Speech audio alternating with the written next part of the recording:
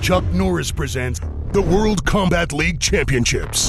Raymond Daniels and the LA Stars have remained undefeated all season in their quest to become the WCL champions. The New York Clash, against all odds, have proven that they are worthy to wear the WCL championship ring.